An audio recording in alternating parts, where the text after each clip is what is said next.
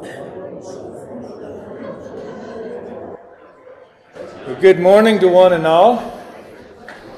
It's great to see you. It's a wonderful blessing to be able to come together in an assembly like this and to visit and slap each other on the shoulder and shake hands and and everything. It's uh, one of the blessings we've kind of been missing a little bit, but it is certainly appreciated that we're we're being able to experience again more and more of our freedoms and our blessings that we have. Uh, it's great to have everyone here. We are especially appreciative of having our visitors here. We hope that you go away um, feeling like uh, you've been made to feel welcome, because indeed we, we do want you to be welcomed here and, and uh, know that we appreciate you uh, being here. Uh, we appreciate everyone uh, making it here this morning, and uh, we'll be. Um, uh, I lost my train of thought. if you would bow with me, and we'll have prayer to get going. Father in heaven, we thank you for your blessings. We thank you for this beautiful day. And We thank you for all the beautiful people who are here today and and for this opportunity and this blessing and freedom to assemble like this so that we can in, in unison lift up our voices of praise and thanksgiving to you. You are an awesome God and we do appreciate and love you so. Father, as we go into this period of worship, we do pray that you will help us to lay aside all of the burdens and cares of the world and and be able to fully focus and concentrate upon your majesty and your greatness. And may we be encouraged and learn uh, learn more as, as we speak to one another in the psalms and hymns and the spiritual songs that we'll be engaged in as we spend a few minutes in study of your word uh, in the sermon later. We pray that you'll receive our worship, and it's through Jesus that we pray. Amen.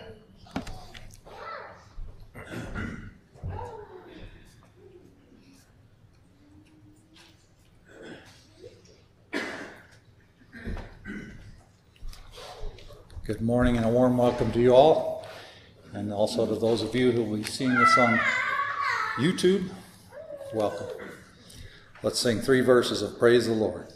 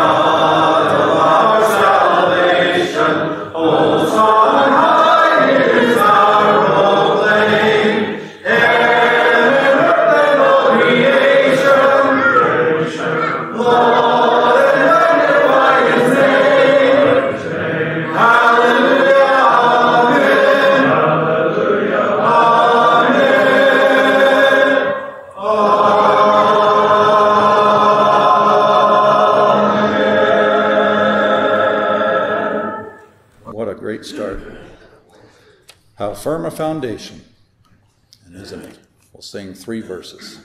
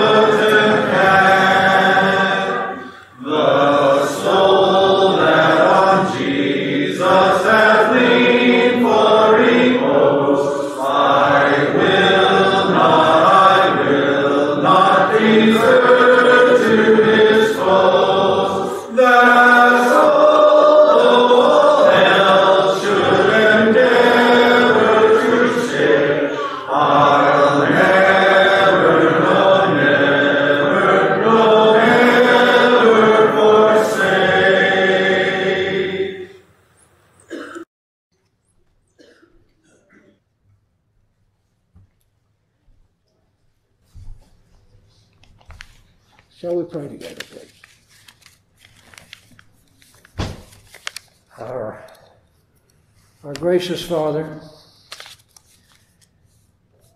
Father, we thank you for this day, for Christ Jesus, our Lord and Savior. We thank you for his church, that we might be able to assemble together and offer worship unto you through his name. Father, for the many opportunities that we have to serve in His church. And we pray that we may be diligent in service, that we might be mindful of the talents and abilities that you have given each of us. And Father, we would ask your blessings upon our mission efforts the Navajo Nation, those who strive to uh, spread the gospel in that area. And Father, we offer a very special prayer on behalf of uh, Philip James that it may be your will that he will receive the treatment that will cure his eyesight problems. We pray for Sekami and Mojima and Emike as they labor in your kingdom in, in Nigeria, often under very difficult and, and, and dangerous conditions, Father. We pray for their safety, that they may be able to continue the good work that they're doing. And Father, we are thankful for the Manuelito and Children's States Children's Homes. We'd ask that you would be with those who have dedicated their lives to the care and the well being of, of those children.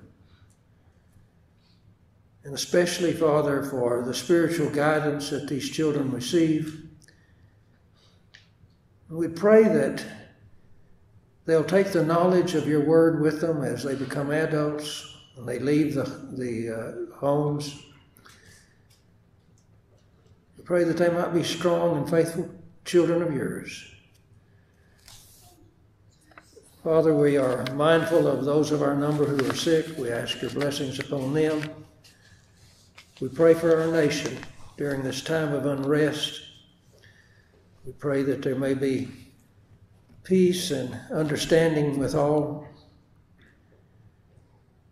Father, we ask that you continue to bless and keep us These things we pray in Christ's name. Amen.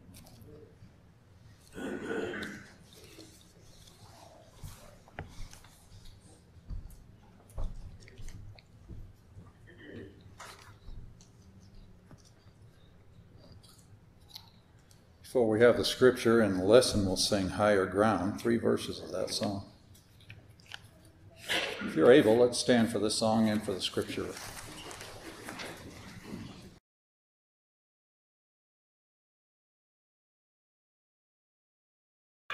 I'm pressing on the upward way, new heights I'm gaining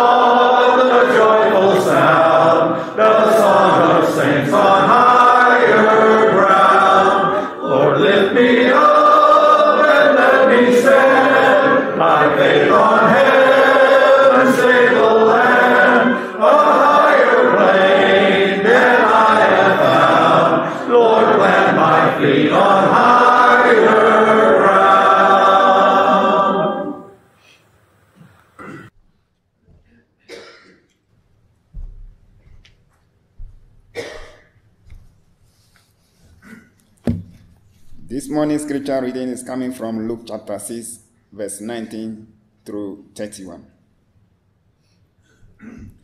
There was a rich man who was dressed in purple and fine linen and lived in luxury every day.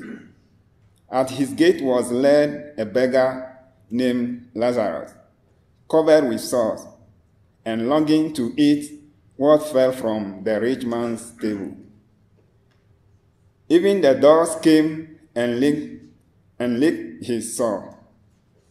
The time came when the beggar died, and the angel carried him to Abraham's side. The rich man also died and was buried. In Hades, where he was in torment, he looked up and saw Abraham far away, with Lazarus by his side. So he called to him, Father Abraham, have pity on me and send Lazarus to dip the tip of his finger in water and cool my tongue, because I am in agony in this fire. But Abraham replied, Son, remember that in your lifetime you received your good things, while Lazarus received bad things. But now his comfort here, and you are in agony. And beside all this, between us and you, a great chance has been set in place, so, so that those who want to go from here to you cannot, nor can anyone cross over from there to us. He answered, Then I beg you, Father, send Lazarus to my family, for I have five brothers. Let him warn them, so that they will not also come to this place of torment. Abraham replied, They have Moses and the prophets. Let them listen to them. No, Father Abraham, he said, but if someone from the dead goes to them, they will repent. He said to him, if they do not listen to Moses and the prophet, they will not be convinced, even if someone rises from the dead. Amen. You may see it. Thank you, Joseph, for that good Bible reading. Jesus was indeed the master storyteller, wasn't he? Now that I know and you know, he was so much more than that. There's lots of people that have been able to tell a good story, sing a pretty song, write a good novel. Jesus was more than just someone who went around telling good stories. In John chapter 6, you'll remember that Jesus told some things that the people didn't think were so good. And in fact, they began to leave. And Jesus asked his disciples, Will you too go away? And Peter replied, Where else would we go? To whom else would we go? You have the words of eternal life.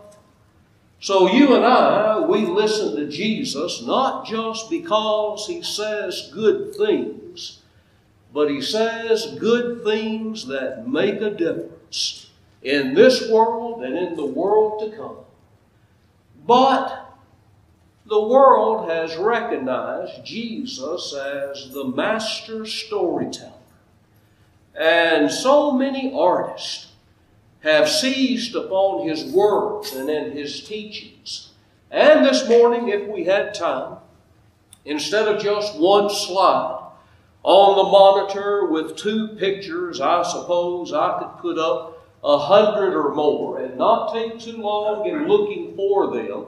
The story about a rich man, haughty, arrogant, satisfied, and a poor beggar that lay outside his doorway, so full of misery, the only relief he could find was when the dogs would come and lick his running sores. And how that both of them died, and both of them were called into judgment. Now then, we preach that here at Pikes Peak just about every Sunday morning, don't we? But we don't say it the way that Jesus said it. We don't tell it the way that Jesus told it. And this morning we want to take a few minutes in thinking about this narrative we find in Luke chapter 16. And you know, it's not just the artist with his paintbrush, his easel, his oils, his watercolors, that draws such a compelling picture of this story that Jesus told. But it's also the story that translates well when we see it on film or in video. You know, the word videography, cinematography, those words weren't around until a little bit more than a hundred years ago. Cinema, from the French, theater, and graphe from the Greek, to write. You know, some people that couldn't hardly draw a straight line couldn't produce an oil painting if their life depended on it. They may be able to take a camera and some actors and portray a story and you know, we're living in the day and age where people increasingly so they learn not by what they read, but what they see. And one reason why, oh my goodness, 15 years or so ago, here at Pikes Peak, Kevin and I began the PowerPoint every Sunday morning. And every Bible class that we could. Because that visual reinforcement helps most of us. And so this morning I have a short video clip. It's taken from the Lumo Project. And I referred to these people before, and no doubt I will again. It's an ambitious project to take Matthew, Mark, Luke, and John and just read the text while the story plays out. And I think it's real well done.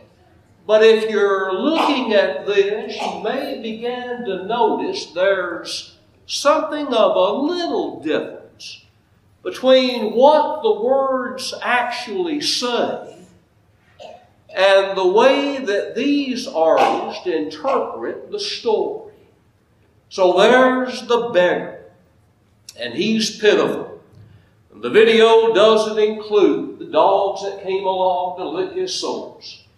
But here's where a little bit of artistic license comes in. Here was a beggar that Jesus saw, that Jesus knew perhaps that Jesus in his passing by witnessed. And here was a beggar that died in Jesus' arms. Well, if you're looking at Luke 16, you may be thinking, I don't read that. But it does illustrate one of the factors and the matters that people sometimes raise when we talk about this story was it the parable of the rich man and Lazarus? Or was it an actual historical event? Something that really happened? Something that was true? Well, to my way of thinking, that wording is that wording is wrong. All the parables that Jesus taught were true, true to life. Jesus didn't talk about animals talking, about bushes and trees singing a song. Jesus didn't have people flying when he told the story. Everything Jesus said in his parables reflected real everyday life. But some suggest that, you know, I'm not so sure this was a made up story by the master teacher. But instead, Jesus is talking about something that he saw happen with his own eyes. You know, if you're looking at Luke, 12 times in the Gospel of Luke, Luke has this wording or something similar to it, and he spoke a parable unto them. So 12 times Luke goes out of his way. And he has Jesus speaking a parable. Well, in this context, Luke doesn't use that phrase. So, why not this morning check your own Bible?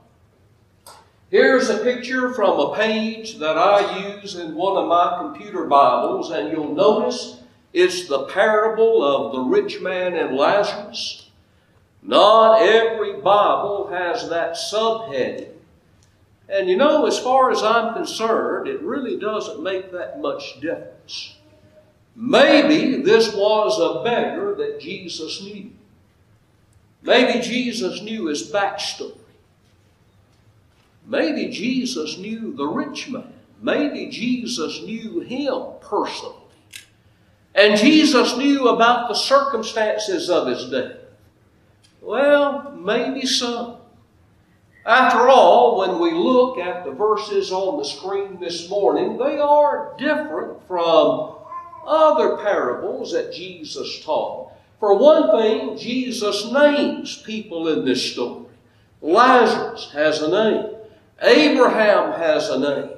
For another thing, the other stories or parables that Jesus told, they were earthly stories with a heavenly meaning. You can pick up something and throw at me if you haven't heard that definition of a parable. That's the one that we all know. Well, this story is earthly, yes, but it's the only time that Jesus, in such color, such detail, parted the curtain and allows us to see into the next world. So this story is indeed different. And this morning I want to highlight or emphasize just four points from the story to reinforce what an amazing teacher our Lord was. You'll remember at the close of the Sermon on the Mount, Matthew chapter 7, all the people were amazed or astonished by the way Jesus spoke. That word amazed, found 12 times in the New Testament. And one time it describes in Luke chapter 9 the people's reaction to a miracle. Jesus casting out an unclean spirit. And there is something that, by definition, a miracle is eye popping, surprising, astounding, astonishing. Well, so too the way that Jesus taught. Matthew 13, he's in Nazareth, his boyhood hometown. And after he finished speaking in the synagogue, the people turned and asked one another, Who is this? I thought we knew. Isn't his mother Mary? Aren't his brothers? And they could name his name. We saw him every day, year after year after year, but now, where did he get this wisdom and where did he get this power? John chapter 7, the soldiers sent to arrest Jesus, coming back empty handed. And when it was demanded of them why, what happened, all they could say was, Never a man spoke like this man spoke. Here's the story that Jesus told, and here's the four points that you and I want to glean from it this morning. And the first few verses, there's a certain battle. Living in misery, poverty, want, hunger, and despair. And then just behind the door, there's the rich man who fared sumptuously every day. Not only had what he needed, he had more than what he needed. And I suggest to you this morning in this room, there's not a beating heart, there's not a feeling heart among us that has not been moved by the disparity the great divide between the haves and the have nots that you and I see every single day. We need not go to the third world to witness that. It's more disturbing there, I grant you, but we see that even here in Colorado Springs. And the observation could be made that's just not fair. It's not fair. And here I'll date myself a little bit. I read once that if you had the original VHS tape and the packaging of those old Disney classics, you're sitting on a fortune. Have you heard that? Well, we wore our tapes out, and so there's no fortune left there. But you remember that opening scene from The Lion King, and there was the lion and the mouse that he caught? And as the lion holds up the mouse, he contemplates in a philosophical vein life's not fair. I was made to be the hunter, and you were made to be the hunted. Life's not fair. You know, we live again in a day and age where people are trying hard to reimagine Jesus, revision Jesus, reinterpret Jesus. And there are people, and I have no doubt they're sincere and well meaning, but this is the question that percolates in their mind and heart and soul more than any other. How come? why didn't Jesus fix the world that we live in? There's hungry. There are the poor. There are the oppressed. There are the downtrodden. There are the enslaved. And you know, that's the way the world was when Jesus was born. And that's the world he left behind when he ascended back to the Father. And why wasn't Jesus more of a warrior on some of these social matters. Does it mean that he didn't see, that he didn't care? And I dare say at some point you either have or you will work your way through that conversation. But it is true that there's a great disparity in this world, and the observation is truly noted. No, life is not fair. Solomon, back almost a thousand years before Jesus was born, pondered this at length. And if you read Proverbs, and especially Ecclesiastes, you'll find that he comes up on this thought just every now and then. For example, in Ecclesiastes chapter 9 and verse 11, it's not the fastest that wins every race. You would think that's the way that it would work out. It's not the strongest that always prevails in battle. It's not the smartest that makes the most money. Can I hear an amen for that? It's not the one you would think that would have every advantage that comes out on top. But notice what his conclusion is time and chance happens to everyone. Now, then, Solomon's talking about a grand principle. And we don't want to stretch his words beyond the meaning that he puts in them. My kids, your kids, we encourage to go to school, stay in school, learn all you can. Because we know that helps prepare someone down the road in life. And there's no substitute for that. And yet we also realize that there are folks like, I think Bill Gates is the classic example. Quit college, founded a little startup named Microsoft, and the rest is history. Life doesn't always turn out the way that you think it ought to. Solomon saw that and he wondered about it. And in Ecclesiastes, he says, You know, I set my hand to do everything I could. I gathered wealth. I built buildings. I conquered territories. I did everything according to the blessings and the opportunities that God gave me and you know, when I die, my inheritance will go to folks, and maybe they don't try nearly so hard.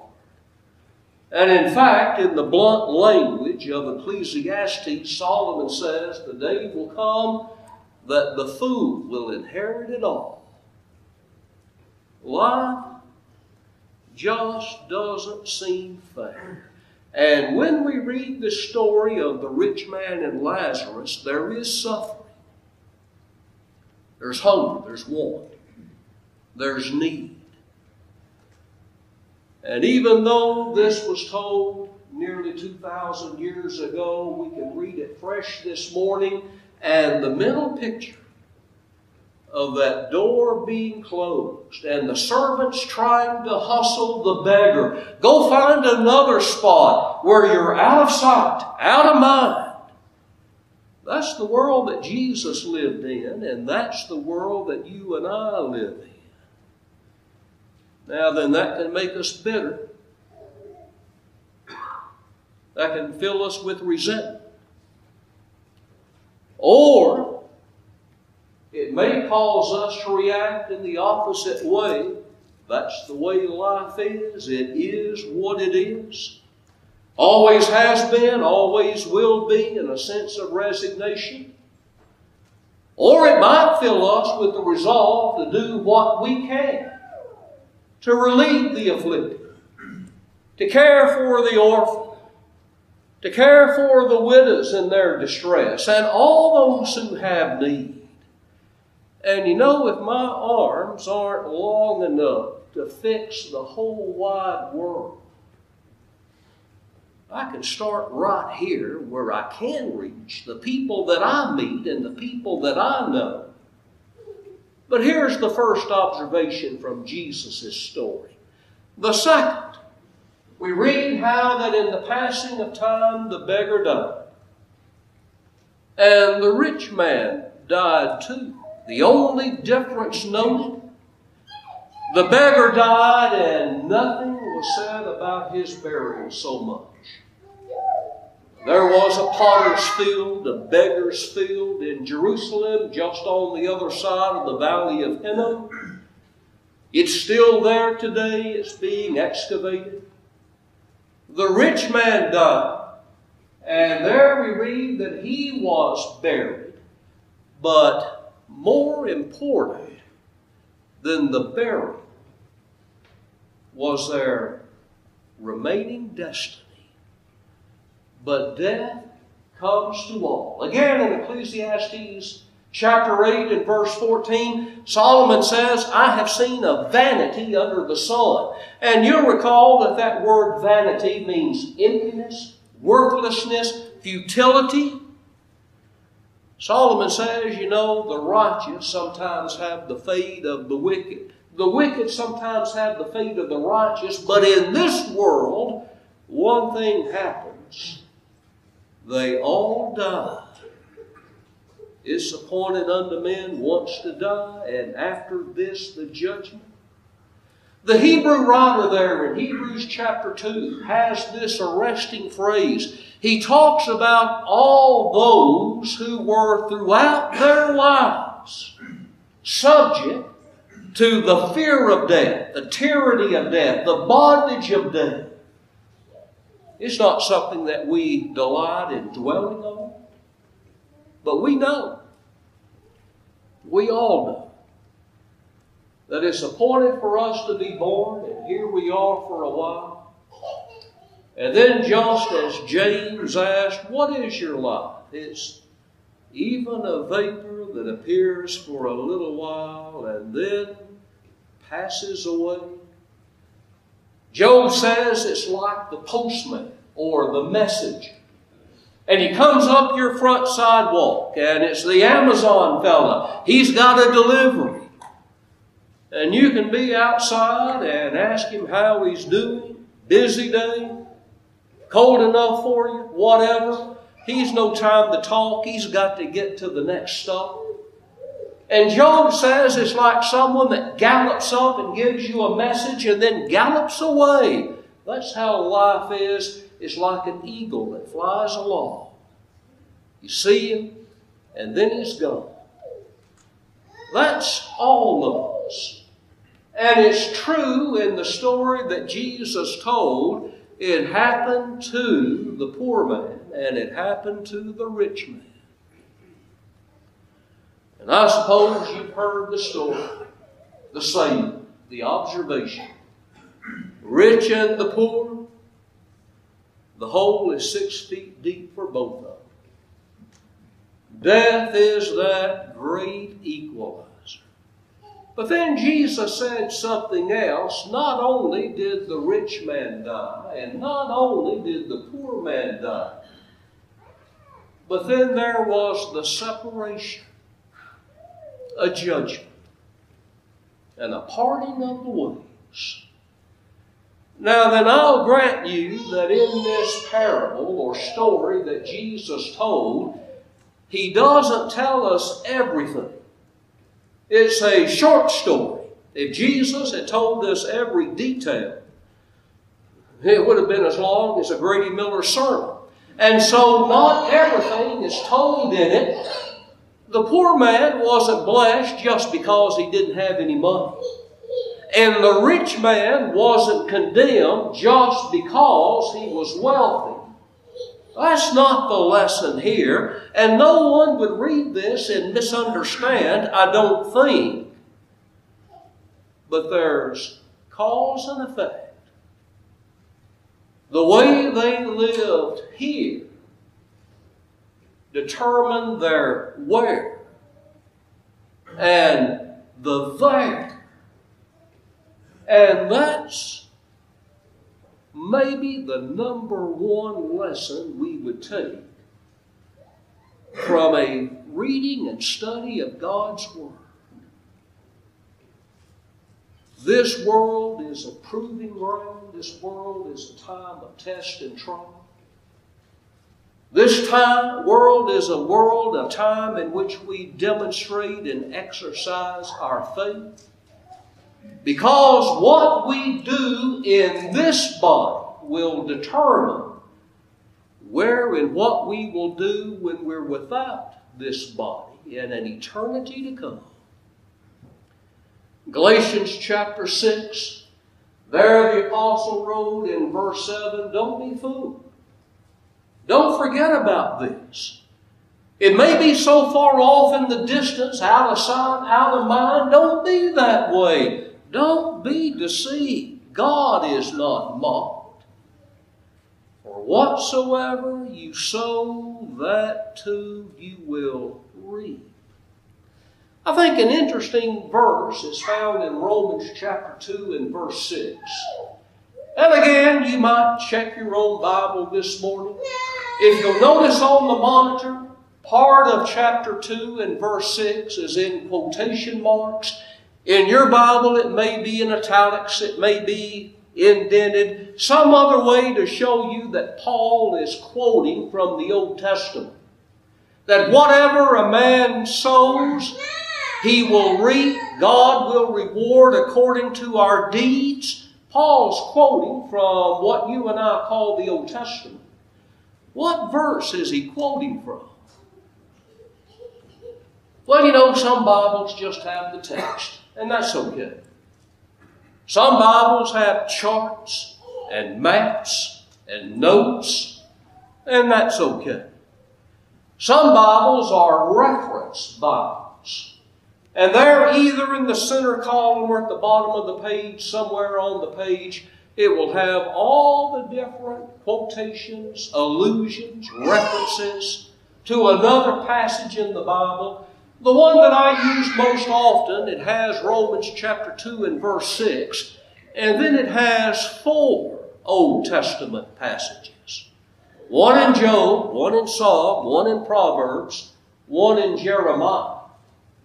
And if you do a little digging in a word search, you'll find that others could be cited. In other words, Paul grabbed a quotation from the Old Testament and he could have gone to all these different places to get it. You know, when God says something one time, it's important. When he says it twice, when he says it three times, when he says it four times, when he says it over and over and over, we'd better get it. And that's the lesson here from Romans 2 and verse 6. God's going to judge everyone according to their deeds. 2 Corinthians 5 and verse 10. We must all stand before the judgment seat of Christ. And there we will be judged according to the deeds done in our body or in our flesh or in this lifetime. In Revelation, John says, I saw the books were open and the dead and great were gathered. And they were judged, every one, according to their works. That's a lesson that we learn from this great story that our Lord told. And then the last lesson that we'll look at this morning. It's pitiful how the rich man said, I've got brothers. And they're living just like I lived my life. And they're not mindful of the responsibility their wealth has brought. them.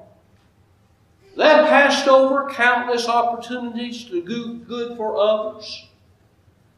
They live in their own isolated little cocoon, unmindful of the misery of the rest of the world. They're just like me, and now I'm lost and in misery and torment. Send Lazarus back and have him deliver a message. And when they see that ghost materialize, they'll believe then. And then in words kind of hard for us to imagine. Abraham says, Jesus says, no, they wouldn't be changed, not even if one rose up and spoke to them from the dead. And you and I, we kind of rebel against that thought, don't we?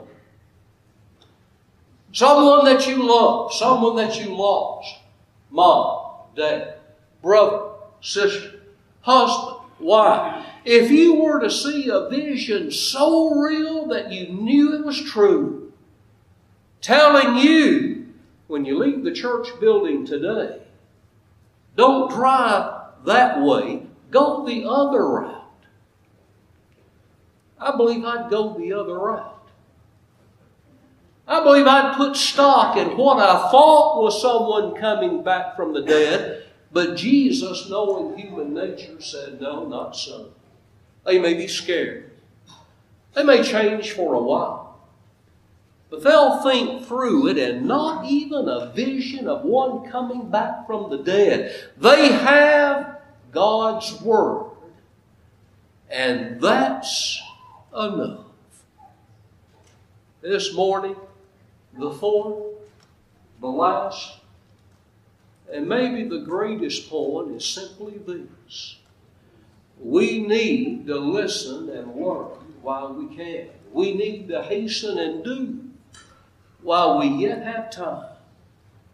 To come to the Lord and find the forgiveness and the salvation that He affords, to be washed in the blood that He shed, because there's a great day coming, and when that day comes, the book of our life will be closed, and the book of God's judgment will be open. And how will we stand then? This morning, if you're not a child of God, we wouldn't scare you and terrify you so much. That's not our aim. But we would plead and beg with you. Instead of me looking at your life or the church looking at your life, you look at your life. You look at your own life. And is the Lord God first and foremost? Are you wearing the name of Jesus? Have you put him on in baptism? If not, there's time yet. Why not for you this morning while we stand and as we sing this song together? How deep the Father's love for us, how vast beyond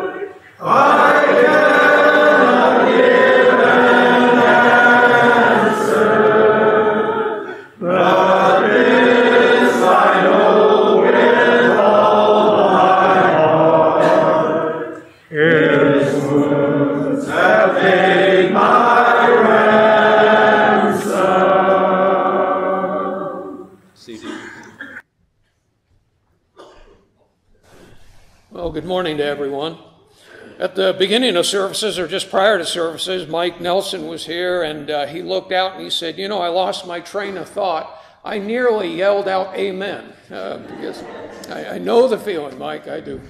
Um, I hope I won't lose my train of thought as I uh, discuss a couple of special prayer requests we've received this week. I was thinking that in life there are certain words or events that change your life forever. Uh, perhaps if you've been a mom or a dad, you, the doctor looks across the desk and says, You're going to have a baby. All right? Life changes forever at that point. Or maybe a, a, a, potential employer says, We'd like to bring you on board. Here, here be, is your pay. Here are the benefits. Your life will never be the same again because now you're going to go pursue a certain career or with a certain job. Maybe the words I do or I now pronounce you man and wife are that way too. There's another word, though, that comes up and in life, usually a little later on, and that word is cancer. And when we hear that word, it doesn't matter whether it's your diagnosis or someone else's, we catch our breath, don't we? We, we, pull in a bit of breath and say, I don't want to hear that word. And this week we had three prayer requests specifically related to cancer. You heard one uh, this morning if you were in class. Uh, Kevin mentioned that Mona Bowers has been diagnosed this week with, uh, with uh, breast cancer. She's going back to the doctor, obviously, for more tests. I talked with her yesterday, and she asked for a, a prayer request. Also, John Ryan heard from Pam yesterday. John uh, goes back into chemotherapy on Tuesday. He typically spends three to five days there, so please pray for John. That new form of chemotherapy seems to be just attacking that brain uh, tumor, that brain cancer, and so there is some hope that he can get up to Denver for that bone marrow transplant.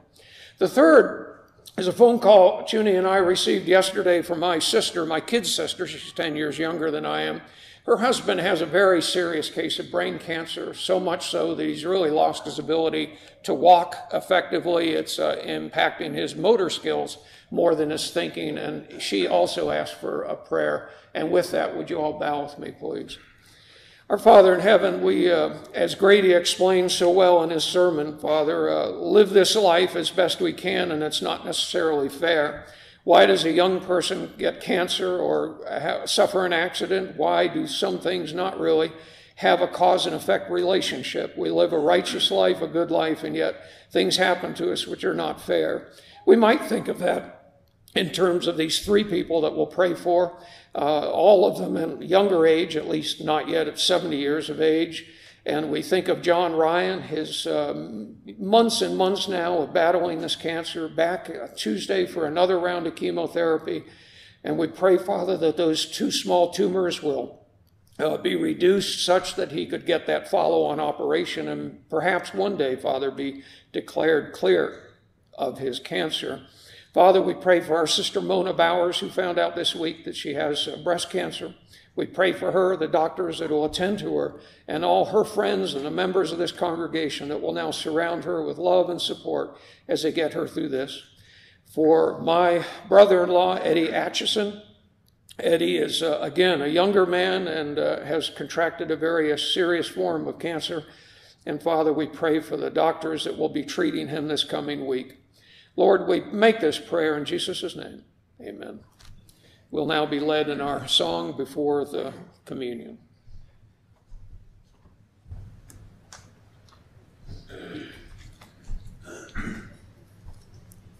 We'll sing all three verses of the Lord's Supper.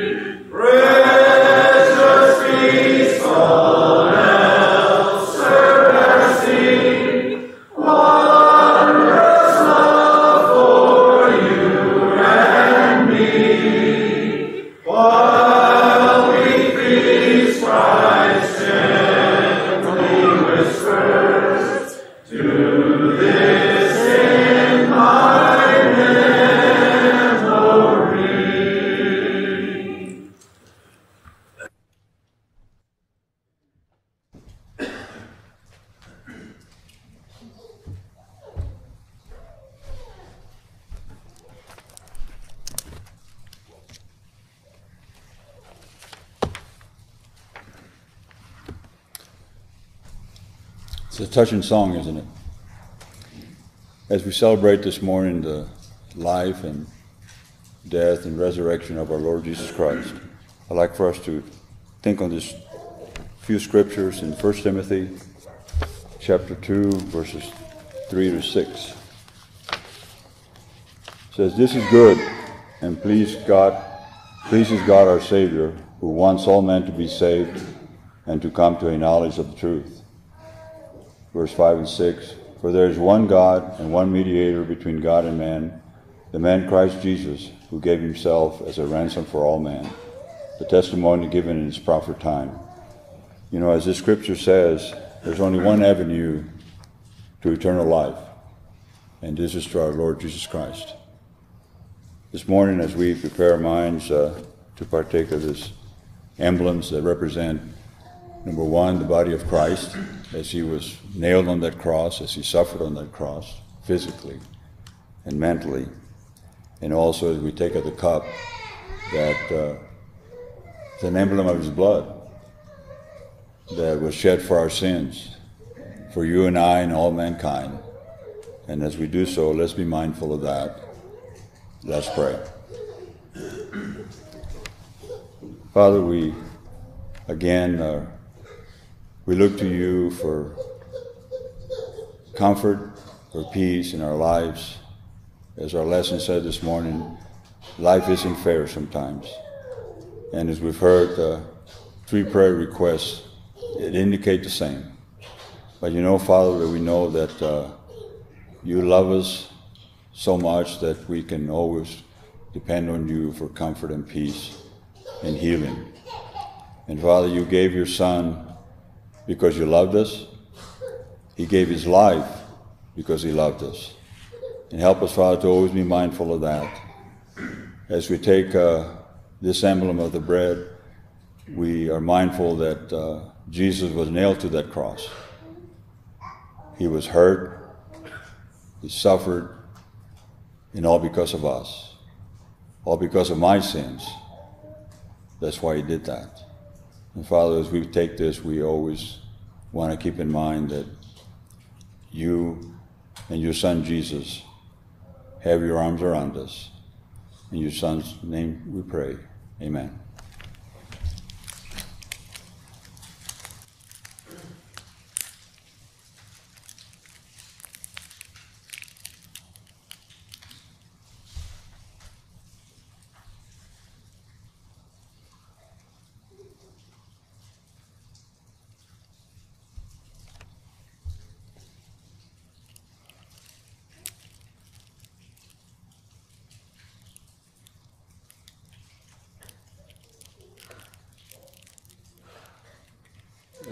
Prepare for the cup, let's pray once again.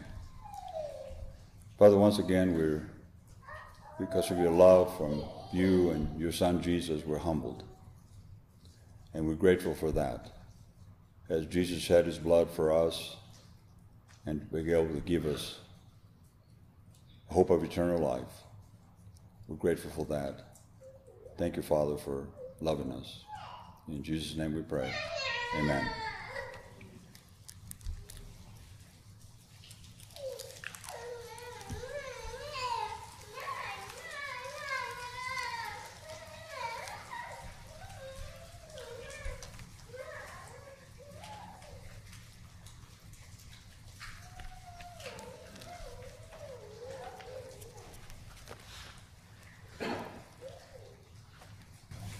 As we concluded the Lord's Supper, as we've been commanded, for opportunity and also for convenience, this is a time we can give back of our blessings.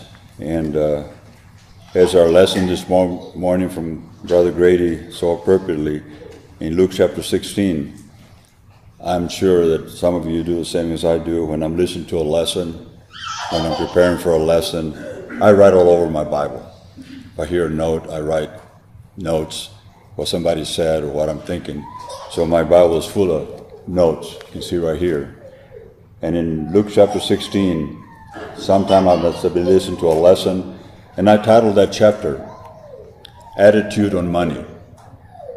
I know that this lesson was not all about money, but it was riches and those that don't have, and those that have, and those that don't have. So, as we are blessed daily, uh, both spiritually and physically, and fiscally, we have an opportunity to give back and uh, be grateful for those things that we do have, and sometimes we take for granted. And there's some out there that don't have that luxury, and we always be, should be mindful of that. And the Lord Kingdom, Lord's Kingdom needs our support and our help here and elsewhere. So let's pray. Father, again, we are so grateful for all you do for us, grateful for the blessings you give us spiritually, physically, and also in a physical sense. Father, we ask that you help us to always be mindful of that. And Father, to always be give back with giving and loving hearts, and that uh, your kingdom can always grow, not only here but elsewhere.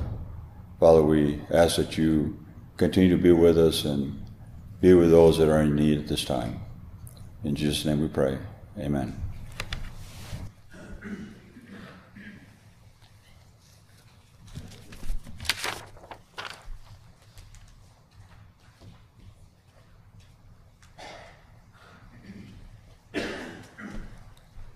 Thank you for your voices this morning. Sounds good. We'll sing three verses of this song and then we'll have uh, prayer and some announcements.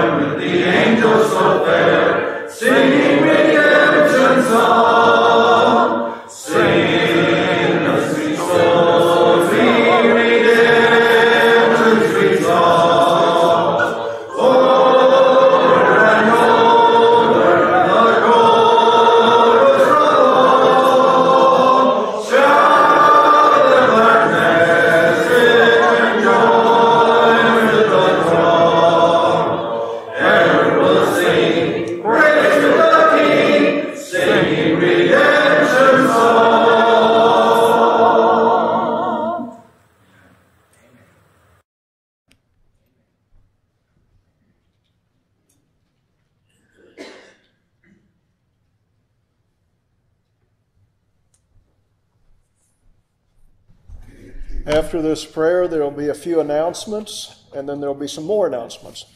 Let us pray. Holy Father in heaven, thank you for your blessings, Father. And Father, we do ask for your additional blessings on this nation, Father, the, the great experiment, if you will, the refuge and hope for some in other nations. And Father, we ask that as we go through our lives, Father, may we be counted among the righteous. May we not lose sight of that, Father. And Father, we do ask for your mercy but we also stand, understand that you are a just and righteous God. And Father, we ask for your blessings also on ours that may be shut in. Father, let us be an encouragement to them. And Father, those that are suffering infirmities, Father, bless them that they may be returned to good health, but also bless their medical staffs that they'll prescribe good and correct treatments, Lord. And Father, as we go throughout this week, Father, we look for opportunities where we may be able to do those things that are right in your sight and speak up or remain silent as you require us. But Father, also that you would bless us to use some of the most powerful tools that you have given us, Father, and that is to vote with our feet, to vote with our ballots, Father, and to vote with our dollars. And guide us to do these things wisely, Father. And bless our representatives that they may be the kind of people that you would have them to be, Father, but, but also bless us that we may recognize the evil done in the dark. And Father, may that evil be exposed to the light for all to see. And Father, we praise your holy name. Name your Son, Jesus, we pray. Amen.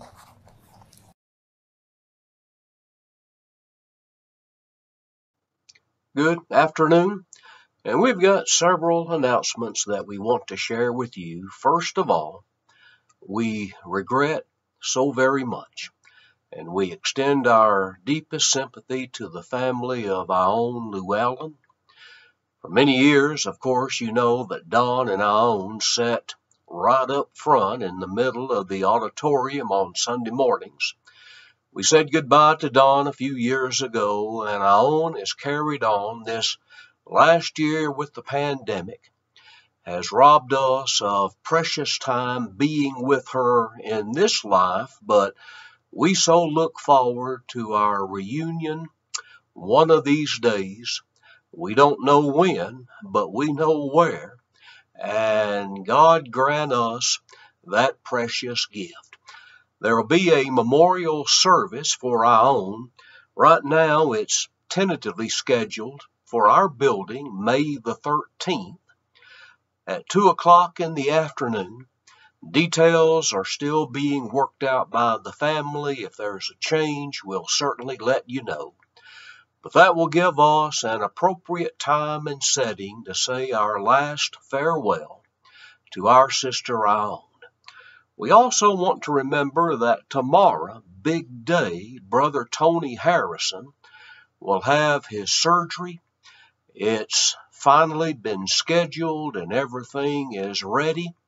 And our prayers are with Tony and Peggy as he undergoes this cardiac surgery. And my understanding is that it's involved and it will take some time for the surgeons to complete that task. And we'll pass along an update just as soon as we're able to. But Tony, we are thinking about you. And you and Peggy are certainly in our prayers, and that will be tomorrow. And we also want to remember Mona Bowers, her recent diagnosis and we're keeping her in our thoughts, our minds, our hearts, and indeed in our prayers. Brother John Ryan, John had a series of chemo treatments this past week, and that takes such a toll on him. There's some evidence that they're doing some good, and John, being the strong fighter that he is, he's maintaining that course and for John and for Pam, they are always in our prayers. Barbara Bagwell's recent surgery to remove the hardware from her foot and ankle went very well. And we're so glad to pass along that good report. Not too many days from now, May the 1st, Les Jones has a men's breakfast schedule. And you can contact us and we'll be happy to share all the information about that. May the 2nd, there's a shower, a baby shower at our building for Jessica and Spencer Van Camp. Jessica is registered on Amazon. That's a quick and convenient way to do it. But if you're looking up her information, she's still listed as Jessica Marshall. Haven't had the opportunity to switch that over yet. And so if you'll look up Jessica Marshall, you'll find the information and we can celebrate with them and the birth of this little baby boy that's due to make his arrival soon. And then we also want to emphasize that we've got some big changes coming. Our Sunday schedule in the building here at the Pikes Peak Church, now then our online, we're still having our one o'clock worship stream. Kevin's Bible class at five o'clock, that won't change, but what will change? At the building every Lord's Day morning for four Sundays, the second, third, fourth, and fifth Sundays in June. So that's two weeks from today. We're trying, I guess you could call it, a bit of an experiment to see how it goes. You know, when we would start back up on Sunday evenings and Wednesday night, midweek Bible study, prayer meeting, you know, we've been feeling our way to see just what the best arrangement might be for that. So here's what we're going to try. On Sundays, we're going to come together, Bible classes for all ages at 9 o'clock, and then worship in the auditorium at 10 o'clock. That hasn't changed, but here's what's new and different. At 11 or so, when we dismiss, we will have a half hour of fellowshipping, of visiting, of being with one another. Uh, downstairs, there will be some drinks and some snacks provided for those that want to make their way down the stairs or ride the lift down the stairs. And a half hour or so of relaxing and then at 11:30 or so we're going to assemble again in the auditorium. This is not worship service number 2. This is something else. Something different, something extra, we might say. Now then the kids are going to stay downstairs.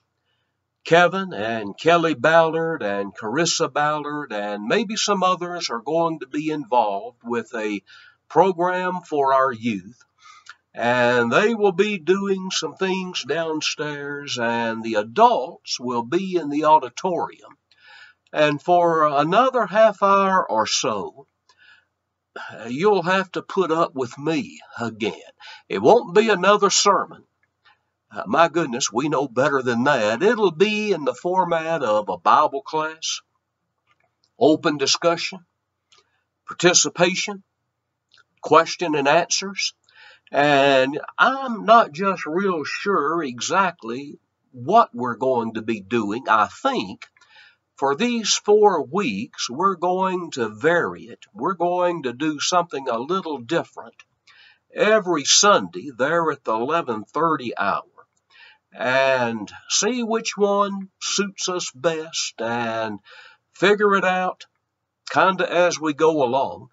But then after a half hour or so, the two groups will come back together and we'll have a short time for singing and praying and a short devotional talk.